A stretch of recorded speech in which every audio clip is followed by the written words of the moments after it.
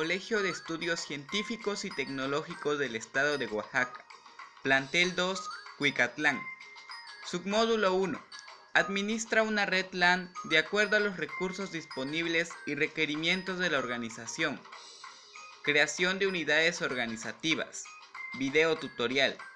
Por Bellasaraí Carrizosa Vázquez, Jamie Vianey Jurado Ortiz, José Enrique Villarreal López, Grupo 603, con especialidad en técnico en soporte y mantenimiento de equipo de cómputo.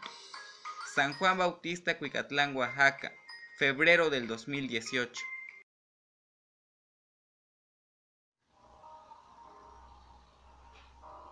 ¿Qué son las unidades organizativas?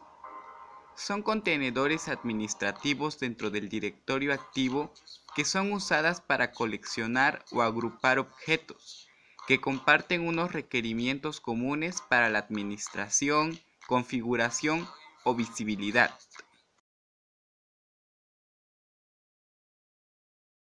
El crear una unidad organizativa permite visualizar las diferentes problemáticas que pueden ocasionarse cuando se repite el mismo nombre para la creación de una nueva unidad en la misma ruta o dirección. Estas nos sirven para asignar utilerías que comparten los archivos comunes en la administración. En el siguiente video mostraremos cómo crear una unidad organizativa en Windows Server 2008. Como anteriormente hemos instalado los servicios de dominio, así también como los de Active Directory, del servidor DNS, podemos proseguir para la creación de esta unidad organizativa, la cual damos clic en inicio, herramientas administrativas, usuarios y equipos de Active Directory, el cual nos va a cargar una ventana en la cual tenemos tres opciones. En este caso damos clic sobre el usuario que es bellas.com. Damos en nuevo. Nos dirigimos a unidad organizativa para la creación de esta en el cual nos pide un nombre a, la que se le pondrá a esta unidad. En este caso le pondremos las iniciales de los que integran nuestro equipo.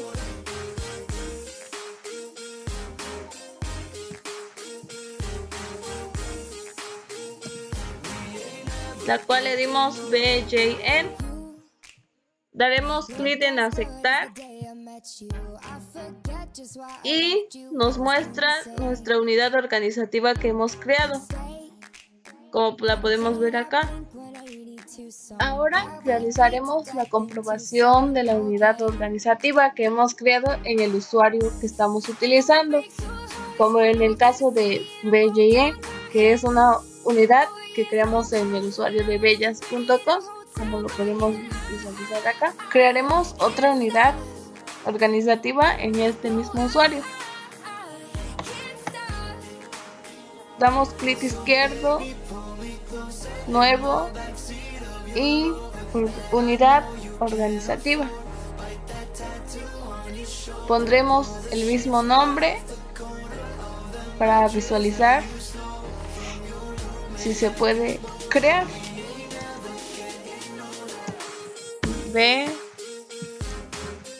B en, damos clic en aceptar.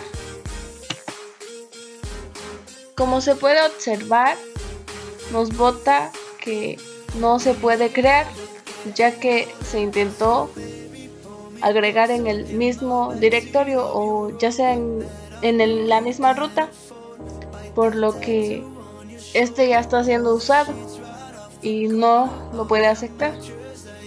En el cual damos clic en aceptar y daremos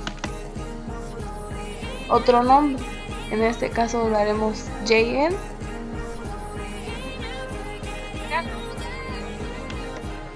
como podemos observar aquí, se ha creado una nueva unidad organizativa que deriva de esto. Como veis, no se puede repetir el nombre de una unidad, sino que se debe de cambiar. Pero nos menciona que podemos crear una nueva unidad organizativa con el mismo nombre en la misma carpeta de cómo se llame. Para ello, seleccionaremos esta. Daremos clic izquierdo sobre la carpeta. Ya no sería sobre el usuario, sino que directamente sobre la carpeta.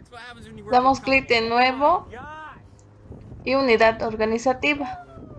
Y pondremos el mismo nombre que le hemos puesto a, a la unidad.